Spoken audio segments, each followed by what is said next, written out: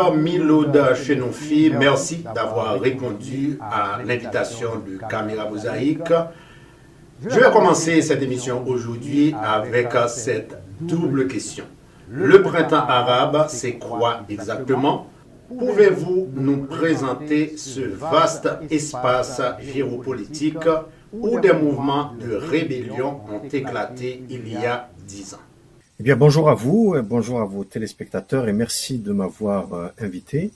En fait, le Printemps arabe, comme vous l'avez dit, est une série de euh, euh, soulèvements populaires qui s'est produite d'abord dans un petit pays d'Afrique du Nord qui s'appelle la Tunisie et qui s'est ensuite propagée un peu partout en Afrique du Nord et au Moyen-Orient, si bien que le résultat a été donc la destitution non violente euh, de, deux présidents qui avaient euh, euh, gardé le pouvoir pendant des décennies et des décennies en Tunisie puis en Égypte, et puis qui malheureusement s'est traduit par un changement violent en Libye à travers une guerre, et ensuite s'est traduit par une guerre civile qui dure jusqu'à aujourd'hui en Syrie. Donc à l'origine, c'était des révoltes populaires non violentes euh, qui était motivé par des griefs tout à fait légitimes euh, sur les, questions économiques, sur les questions sociales,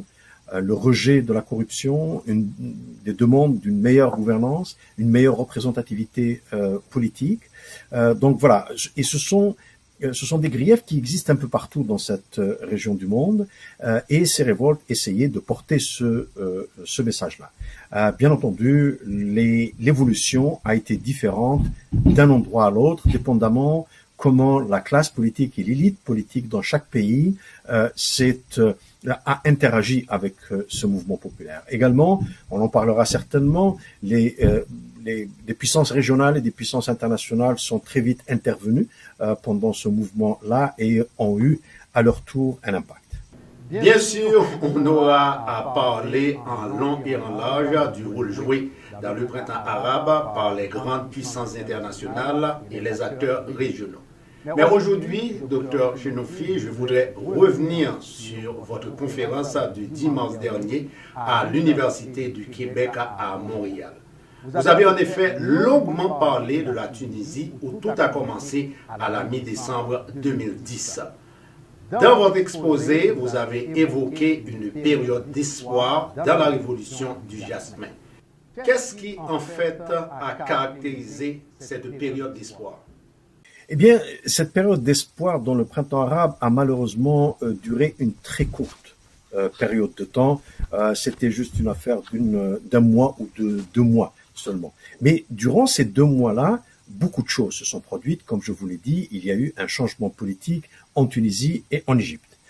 Euh, et, la raison pour laquelle on parle d'espoir avec cette période-là, c'est que le, soulèvement était non violent et euh, la perspective d'avenir était une perspective démocratique à partir du moment où les thèses du changement violent par les extrémistes religieux n'étaient pas à l'ordre du jour. Donc voilà les, deux principales raisons qui permettent de parler d'espoir. Mais cet espoir ne s'est concrétisé que dans le seul cas de la Tunisie. De tous les pays qui vont être frappés par le printemps, arabe, le seul pays où euh, une démocratisation va avoir lieu avec des élections libres régulières, c'est la Tunisie. Ils en sont, euh, les Tunisiens sont, euh, en sont à leur troisième président démocratiquement élu depuis le début du, euh, euh, du printemps arabe. Il y a une presse, euh, une presse libre. Il reste encore beaucoup de difficultés dans ce pays, notamment dans le domaine économique et social. Mais du point de vue strictement politique, eh bien, c'est un pays qui est fermement engagé dans la démocratisation, si bien qu'on peut dire qu'aujourd'hui que la Tunisie est une est une démocratie. Et il est important de savoir pourquoi en Tunisie cela s'est produit de cette façon-là, pourquoi la démocratisation a fonctionné et pas ailleurs. Et la raison que je peux imaginer pour l'expliquer, c'est que les Tunisiens euh, se sont dotés sous le régime autoritaire d'une euh, société civile bien organisée. Donc, après la révolution, ou après le printemps arabe, si euh, vous voulez, il y avait une classe politique, donc avec des partis politiques qui étaient dans la clandestinité, qui maintenant agissaient euh, ouvertement, participer aux élections, etc., etc. Mais vous savez, les politiciens sont bons euh, dans les élections, dans les luttes de pouvoir, dans les luttes idéologiques, mais ils ne sont pas nécessairement euh, bons dans la construction des institutions. C'est pour ça qu'il y a toujours besoin, dans un processus de démocratisation, d'une société civile bien organisée et bien forte. Et c'était le cas en Tunisie. Ils ont un mouvement des femmes qui est fort, ils ont un mouvement de défense des droits humains qui est fort, ils ont une centrale syndicale extrêmement puissante, et ce sont ces, organisations de la société civile qui ont mis la pression sur la, la classe politique et, euh, euh, et ont réussi à mener le pays euh, sur la voie de la démocratisation. Cela ne s'est pas produit ailleurs, fort malheureusement. Docteur Chenoufi, outre cette société civile organisée, est-ce qu'il existait en Tunisie une opposition politique au régime de Ben Ali? Oui, alors vous aviez deux types euh, d'opposition, pas uniquement en, Tunisie, mais un peu partout. Hein. Vous avez deux types d'opposition. Il y avait une, sorte d'opposition légalement reconnue. Euh, c'était des partis politiques. Certains étaient là euh, juste pour faire de la figuration, pour permettre en fait au, au président autoritaire de gouverner. Ces partis-là lui servait juste de, faire valoir. Il y avait également euh, dans l'opposition euh, euh, reconnue des gens qui s'opposaient réellement au, au régime autoritaire. Et puis, comme je vous l'ai dit, il y avait aussi les organisations de la société civile. La deuxième partie de l'opposition était une opposition qui était dans la clandestinité. Et alors là, vous avez l'ensemble du spectre idéologique qui va de l'extrême gauche jusqu'à euh, l'extrême droite. Et l'extrême droite dans cette région est représentée par les mouvements religieux extrémistes. Euh, donc, euh, ils, ils, ils, activaient un, un, peu moins à l'intérieur de la Tunisie qu'à l'extérieur de la Tunisie. On les retrouvait beaucoup plus en Europe, en exil qu'ailleurs. Et après la Révolution, eh bien, ces mouvements-là sont sortis de la clandestinité, sont rentrés en Tunisie et ont participé à, à, au processus de démocratisation. Et d'ailleurs, le premier président élu de, euh, de la Tunisie était un militant des droits humains euh, qui, a, qui a subi en fait la, la répression euh, du régime autoritaire et qui s'est fait élire président après après la révolution. Mais comme je vous l'ai dit, le problème qui s'est produit juste après, c'est que les la classe politique était très polarisée sur le plan idéologique entre les modernistes de droite, de gauche et du, centre, et puis d'un autre côté des, euh, religieux. Et le problème de cette polarisation dans cette région du monde, c'est que elle paralyse euh, l'évolution de ces euh, pays-là. La chance de la Tunisie est d'avoir eu une société civile qui a permis, donc en mettant de la pression sur les politiciens, qui a permis de transcender cette polarisation pour se doter d'une constitution euh, proprement démocratique et moderne qui fait en sorte qu'aujourd'hui la Tunisie est une démocratie. Malheureusement, dans d'autres pays, le printemps arabe n'a pas abouti au changement démocratique souhaité par les populations, notamment en Libye et en Syrie. Pourquoi, docteur Chenoufi, les soulèvements populaires contre Bachar el-Assad et Muammar Kadhafi ont débouché sur ce chaos?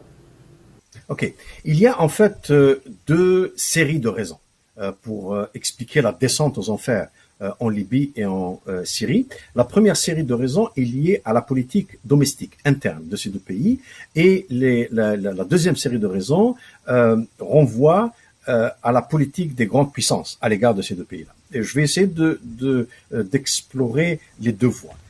Alors, sur le plan de la politique domestique, eh bien, partout où le printemps arabe s'est produit, les choses euh, ont évolué euh, de façon non violente partout où les forces armées ont pris euh, le, le, parti de la population contre le président. C'était le cas en Tunisie et c'était le cas en Égypte. En fait, les deux présidents tunisiens et égyptiens ont compris que leur sort était scellé au le moment où euh, les forces armées, euh, l'état-major de l'armée, dans les deux cas, a, en, signifié à ces présidents-là qu'ils n'allaient pas les soutenir, ils n'allaient pas réprimer dans le sang euh, la, population qui était dans la rue. Ce n'était pas le cas en, en, Libye et en Syrie, où les forces armées, en fait, en Libye, il n'y avait pas réellement des forces armées organisées, c'était plus des milices qu'autre chose, qui ont pris, fait et cause pour le, le leader de l'époque qui s'appelait Kadhafi. La même chose en, en Syrie. Donc cet élément de la position des forces armées est absolument important pour comprendre l'évolution politique dans cette région, que ce soit à l'occasion du printemps arabe ou dans d'autres occasions. La deuxième série, Bien sûr, je ne parle pas du fait qu'il n'y avait pas de société civile ni dans un cas ni dans l'autre. Euh, les politiciens euh, se sont emparés euh, du mouvement populaire et les politiciens, vous savez, agissent selon le principe les fins justifient les moyens et ils n'hésitent pas à, dans l'utilisation de la violence lorsqu'ils pensent qu'ils peuvent qu'ils peuvent gagner. Le résultat a été le chaos que nous connaissons aujourd'hui. La seconde série euh, de, euh, de raisons, c'est la manière avec laquelle euh, les puissances étrangères, principalement les puissances occidentales, nommément les États-Unis, la France et l'Angleterre, ont réagi au printemps arabe. Au début, ils étaient tout à fait surpris par ce mouvement-là, et ensuite ils se sont adaptés petit à petit. Mais ils se sont adaptés de telle sorte à continuer à protéger leurs alliés. Et qui sont leurs alliés dans la région? Ce sont les pays du Golfe, l'Égypte et Israël. Euh, ok, donc ces pays-là ne pouvaient pas être touchés de quelque façon que ce soit.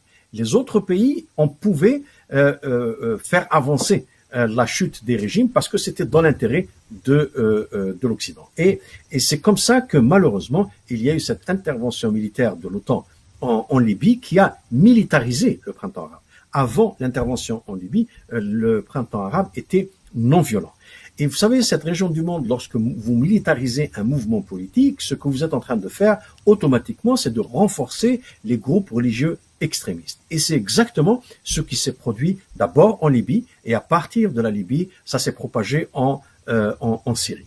La dernière raison qui fait en sorte que la communauté internationale euh, est intervenue en Syrie à travers le financement, l'armement et la couverture diplomatique à, la rébellion armée en Syrie, c'est tout simplement parce que la Syrie est un allié de l'Iran. Donc, si vous voulez, on a militarisé et on a encouragé l'opposition syrienne à prendre les armes afin d'affaiblir un allié de, euh, de l'Iran. Donc vous comprenez que dès que la militarisation s'est produite euh, du printemps arabe, eh bien les, les, les, intérêts des populations locales est passé au second ordre, euh, les, la non-violence a été remplacée par la violence et bien entendu le chaos à la, à la stabilité. C'est la raison pour laquelle dans la conférence, si vous vous souvenez, j'avais dit que dans cette région du monde, la non-violence n'est pas uniquement un choix moral, c'est aussi un choix stratégique. Si on veut réellement un changement vers la démocratie, il faut éviter la violence. Nous allons rester un instant, docteur Chenoufi, en Syrie et en Libye. Peut-on expliquer l'absence d'une société civile organisée par la dictature féroce qui prévalait dans ces deux pays? Euh, oui, c'est un, l'un des éléments fondamentaux qui peuvent expliquer cela. Euh, c'est, euh, le, la, la, la, chape de plomb euh, qui était maintenue euh, dans les, dans les deux cas. c'est-à-dire que la Tunisie a connu une certaine ouverture, de la même manière que d'autres pays dans la région, hein, l'Algérie dans les années à la fin des années 80, début des années 90, la, la Jordanie, etc. Donc, dans certains pays, il y a eu une certain, un certain allègement du poids de la chape de plomb imposée par euh, le système politique euh, en place. C'était moins le cas en Libye et en Syrie. Quoique il existait une opposition syrienne de l'intérieur, et il est très important de souligner que l'opposition syrienne de l'intérieur a refusé la militarisation du soulèvement populaire. Et vous savez, les leaders de cette opposition-là euh, connaissaient très bien la nature du système politique, euh, avaient subi les affres euh, de la répression là-bas, et puis comprenaient très bien que la militarisation n'allait pas conduire à un changement de, un changement de régime, parce qu'ils étaient conscients du degré de résilience du, du, pouvoir. Et, et, donc voilà, bon, cette, cette opposition est restée sur le plan politique et ne s'est jamais développée en organisation de la société civile. Euh, plus encore, dans le cas de la Libye, comme dans le cas de la Syrie, une bonne partie de l'opposition était à l'extérieur. Elle était en exil à l'extérieur et notamment euh, en Occident. Malheureusement, euh, vous savez, les diasporas peuvent être très utiles à leur pays d'origine peuvent être des agents de, de changement positif, de développement, etc., etc. Mais malheureusement, parfois aussi, les diasporas sont dans un état, sont très éloignés du champ d'action politique euh, de leur pays d'origine, si bien qu'ils ne considèrent pas les conséquences de leurs actions. Donc la militarisation euh, de euh, du soulèvement en Syrie a été surtout soutenue par l'opposition syrienne à l'extérieur. Et de mon point de vue, c'était une erreur de le faire parce que ça a ouvert les portes de l'enfer sur la Syrie. Venons-en maintenant à deux autres pays de la région secoués eux aussi par les revendications du printemps arabe. Nous voulons parler du Maroc et de la Jordanie. Pourquoi les deux régimes contestés dans ces deux pays sont toujours en place? Eh bien, il y a deux raisons à cela. La première, c'est qu'il y a eu des concessions. Euh, dans les deux cas, il y a eu des concessions de la part du, euh, pouvoir. Juste pour vous donner un exemple euh, au Maroc, euh, avant le printemps euh, arabe, il y avait des élections. C'était des élections pluralistes, assez contrôlées, mais bon, il y avait quand même des élections euh, pluralistes. Et, et le problème, c'est que peu importe qui gagnait les élections législatives, le roi s'arrogeait le droit de nommer le premier ministre qu'il voulait. Donc, si vous voulez, le résultat des élections n'avait n'avait pas d'impact sur qui allait gouverner au Maroc. Ce qui a changé juste après le printemps arabe, c'est que cette disposition a été abolie. Et le roi a accepté que le parti politique qui gagne les élections législatives, eh bien, c'est le parti politique qui va euh, gouverner. Euh, voilà. Donc, ce type d'ouverture contrôlée a permis, euh, si vous voulez, d'absorber un peu la colère populaire à partir du moment où, comme dans le cas du Maroc, le parti qui gouverne aujourd'hui, c'est un parti euh, euh, qui était dans l'opposition depuis très très très très longtemps. donc vous voyez, c'était assez, c'était un changement. deuxième raison, c'est que nous parlons de deux monarchies. les pays de la région, l'Afrique du Nord et au Moyen-Orient, sont divisés en deux. Vous avez les républiques et vous avez les monarchies. Les monarchies sont totalement alignées sur les intérêts géopolitiques des États-Unis.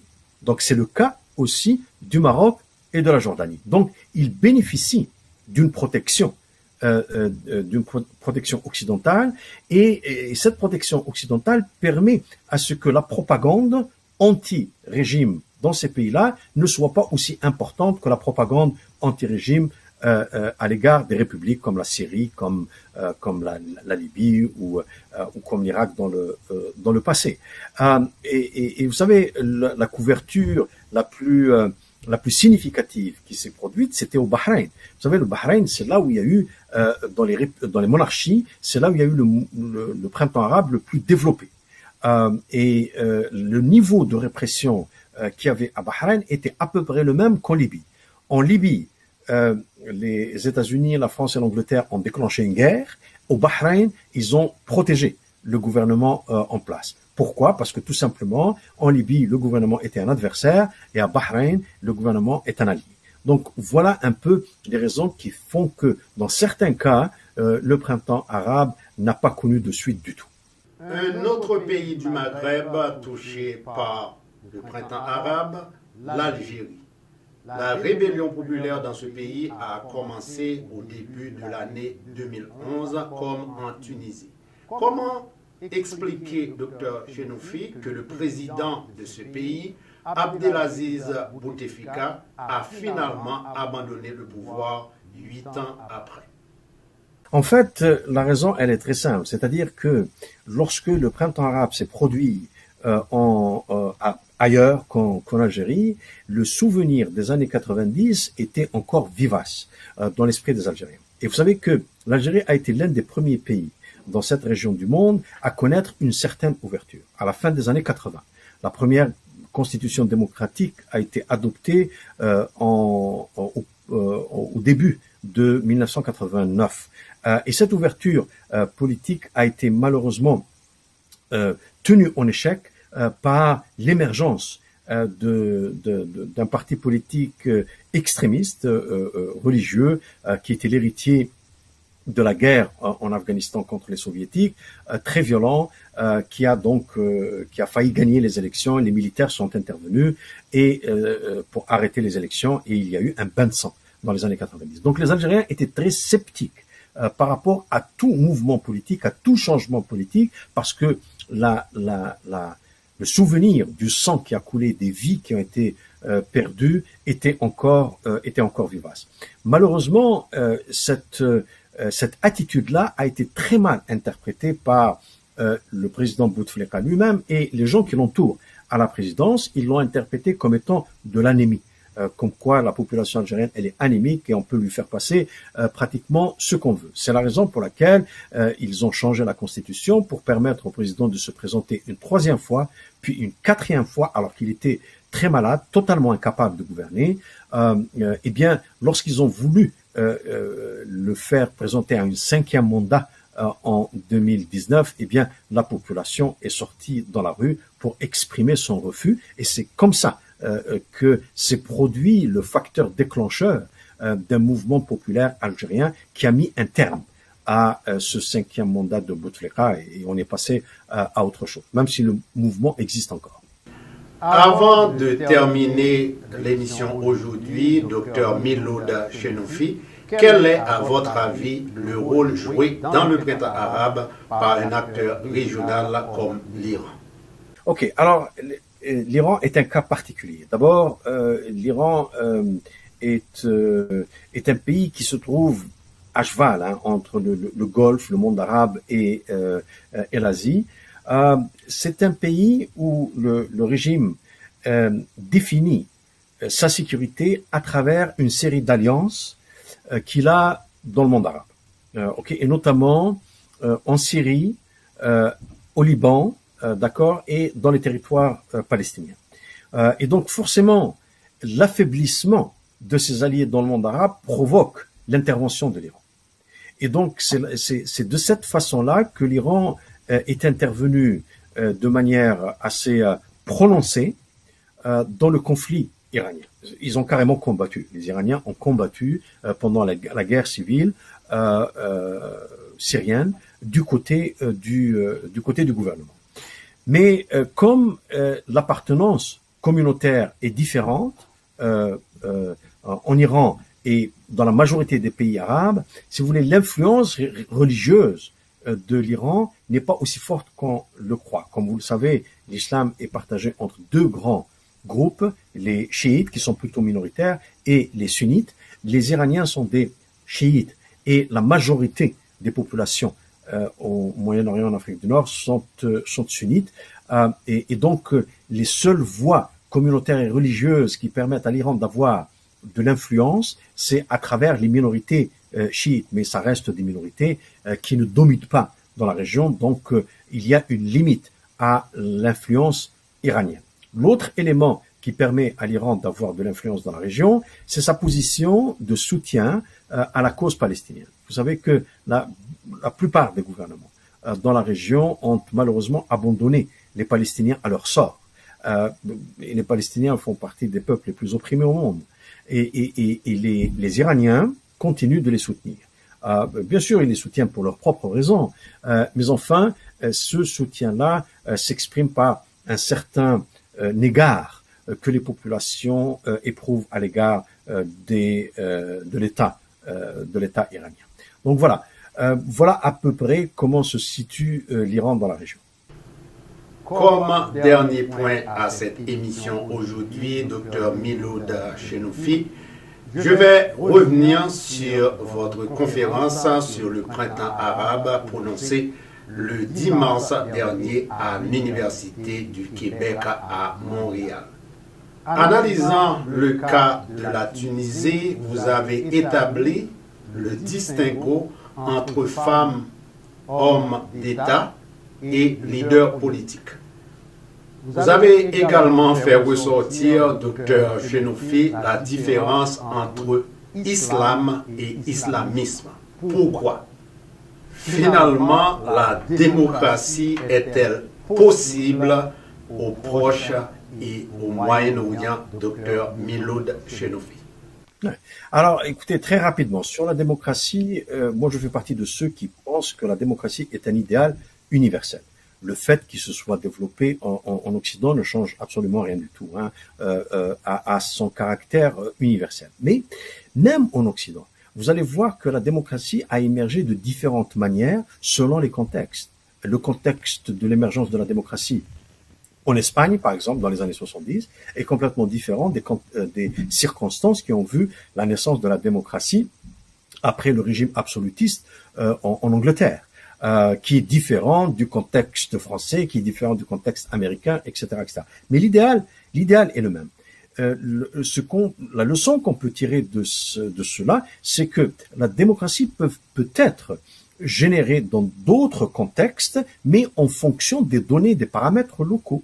Les Tunisiens ont réussi à trouver en eux-mêmes, dans leur contexte euh, à eux, les ressources euh, pour construire leur propre démocratie. Et il existe des mouvements qui luttent pour la démocratie euh, partout en Afrique du Nord et au Moyen-Orient, comme ailleurs dans comme ailleurs dans le monde. Mais l'erreur il, à ne pas faire, c'est juste de vouloir importer quelque chose qui est déjà euh, euh, qui est déjà fonctionnel quelque part et penser que on l'importe comme on importe un téléphone cellulaire. Ça, ça, ça, ne se passe pas comme ça. Dans le cas de la démocratie, le téléphone cellulaire doit être fabriqué localement. C'est le cas de la euh, de la démocratie. Alors, sur les deux autres euh, questions, euh, effectivement, euh, vous savez, il y a une distinction à faire entre les politiciens et les politiciennes d'un côté et de l'autre les hommes et les femmes d'État. les politiciens et les politiciens, ce sont des gens qui, qui, ne, qui ne connaissent que la, la, la recherche du pouvoir et le maintien au pouvoir et les luttes idéologiques. Ça s'est produit en Tunisie. Hein, ça s'est produit en Tunisie quand ils ont élu une assemblée constituante en 1900, euh, en 2011 après la révolution. Euh, eh bien, de 2011 à 2014, c'était une véritable bataille rangée quotidienne euh, au Parlement euh, sur des questions euh, idéologiques, alors que le pays était au bord de la faillite. Euh, et encore une fois, c'est la société civile qui s'est mobilisée dans la rue pour faire pression sur sur eux. Les hommes et les femmes d'État en plus d'être des politiciens, ont une vision, ont un projet et, et aussi ils ont un sens de la responsabilité. Le sens de la responsabilité signifie qu'ils réfléchissent aussi aux conséquences de leurs actes. Donc, euh, lorsqu'ils réfléchissent à un moyen, ils ne le justifient pas uniquement par la fin, qu'ils cherchent à atteindre, mais ils essaient aussi de l'évaluer en fonction de ses conséquences. Donc s'il y avait réellement des hommes et des femmes d'État dans l'opposition syrienne, ils auraient compris que militariser leur, euh, euh, leur euh, révolution ou leur mouvement populaire allait avoir comme conséquence un vrai bain de sang. Et les hommes et les femmes d'État décident en fonction des, des conséquences. L'islam et l'islamisme. L'islam, tout simplement, est une religion c'est une religion et ceux qui appartiennent à cette religion-là, ce sont des musulmans et des musulmanes. Il y en a presque 1,5 milliard euh, dans le monde et ils sont partout dans le monde, y compris euh, à Boston, aux États-Unis, au Canada euh, et, ailleurs. L'islamisme est une idéologie politique. C'est une idéologie, c'est une idéologie politique qui ajoute, si vous voulez, au, au, religieux, ou aux paramètres strictement religieux et et spirituel, un élément politique qui dit que l'État doit être l'incarnation de la volonté de Dieu sur terre. Euh, c'est un peu la cité de Dieu sur terre, et les islamistes, non pas les musulmans, les islamistes, ceux qui croient à cette idéologie politique, pensent qu'ils sont les dépositaires de cette autorité divine sur terre. Euh, et, c'est un peu problématique parce que lorsque vous vous rendez, de la euh, de la volonté divine, vous ne rendez pas compte à euh, vos semblables, aux, êtres humains, et donc vous pouvez commettre euh, pratiquement tous les forfaits qui vous passent, euh, qui vous passent par la tête. Donc voilà la distinction entre les deux. Maintenant, un dernier mot à ce propos, c'est que c'est vrai que tous les islamistes sont des musulmans. C'est pour ça qu'ils se revendiquent de cette religion-là. Mais tous les musulmans ne sont pas islamistes. En fait, les islamistes représentent une, une partie seulement politiquement des, des musulmans. Le reste appartient à tout l'éventail des idéologies politiques qui, euh, euh, qui, qui, existent. Et l'islamisme tel qu'on le connaît aujourd'hui, non pas l'islam qui a 14 siècles, l'islamisme tel qu'on le connaît aujourd'hui est un produit du XXe siècle. C'est un produit qui est catastrophique, hein, que je, moi, place à l'extrême droite, euh, euh mais les, le reste des musulmans, euh, j'en fais partie moi-même, appartiennent à tout le spectre idéologique moderne qui va de la droite à la gauche en passant par le centre. Voilà. Et, en, parlant de mouvements, et je dirais, même institutionnels islamistes qui sont arrivés au pouvoir, et on peut parler du cas des frères musulmans et en, mhm. Égypte. Est-ce que vous pouvez les placer dans cette catégorie? Oui, alors eh les frères musulmans sont euh, une, euh, une partie euh, des islamistes, l'une des mieux organisées, les plus anciennes et les plus, les, les, plus, les plus populaires. maintenant, ils ne sont pas tous pareils. vous savez qu'actuellement, le gouvernement au Maroc est un gouvernement qui est dominé par les frères musulmans.